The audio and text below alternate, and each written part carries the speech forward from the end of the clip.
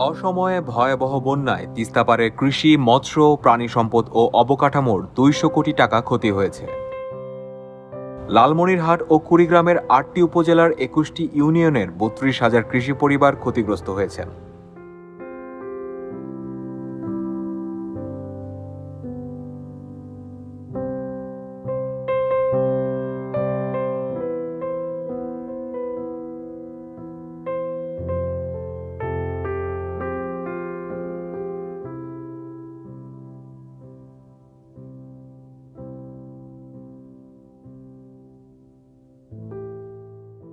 আমাদের শহরে যে ভুট্টা কাটছিলাম আমরা সব এই বন্যায় ক্ষয়ক্ষতি হয়ে গেছে পচে গেছে একদম। এবং আলু যেগুলা গাড়া হয়েছিল সব পচে গেছে পেঁয়াজ গাড়া হয়েছিল সব পচে গেছে। বাড়ি ঘর অবস্থা নাই।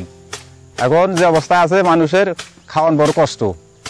আমরা হঠাৎ করে আসি সকালবেলা দেখি বন্যাতে এই পানি আমাদের পাকা ধান টান সব এগুলো ডুবি ডুবি একেবারে সুতি পড়ছে। ধান কাটা যাচ্ছে না ধান সব নষ্ট হয়ে গেছে। বন্যা দেখলে আমাদের ধান যেগুলো আসলো সব পচে গেছি। কারোর মতো কোনো বুদ্ধি নাই।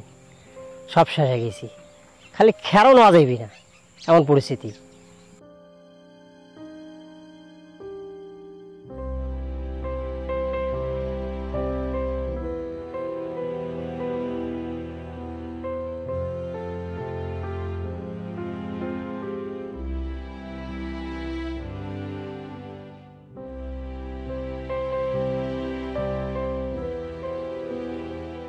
মানে দুইটা ধান ছিল, একটা তিন দন, একটা হলো এক দন।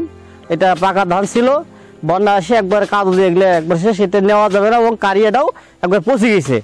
এটা আমরা অনেক কষ্ট করতেছি দুই চার দিন থেকে। মানে এটা শুকানোর মতো কোনো ব্যবস্থা নাই। তারপর আমার যে পুকুরে যে মাছগুলো ছিল, আমাদের এগুলো চলে গেছে। আমার দুইটা বাড়ি, একটা বাড়িও নাই। বাড়ির যেগুলো আমরা ঘরে থাকতাম, সেই মাটিগুলোও সম্পূর্ণ শেষ হয়ে গেছে। আর রাস্তাঘাট ভেঙে সব, পাকা রাস্তা ভেঙেছে, কাঁচা রাস্তা ভেঙেছে।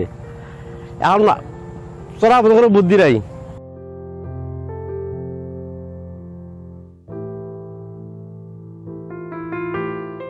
এবারের বন্যায় ব্যাপক ক্ষয়ক্ষতির হয়েছে। তার মধ্যে লাল লালমনিরহাটে তিন হাজার আটশো তিরিশ হেক্টর জমির ফসল ক্ষয়ক্ষতির সম্মুখীন হয়েছে। হাতিবান্ধায় প্রায় ফিফটি পার্সেন্ট ক্ষয়ক্ষতি হয়েছে। আমরা জরিপের মাধ্যমে কৃষকদের ক্ষয়ক্ষতি পুষিয়ে নেওয়ার জন্য চেষ্টা চালিয়ে যাচ্ছি। সামনে প্রণোদন এবং পুনর্বাসনের ব্যবস্থা করব। কৃষকের ফসলের অনেক ক্ষতি হয়েছে, ঘরবাড়ির অনেক ক্ষতি হয়েছে, অবকাঠামো ক্ষতি হয়েছে।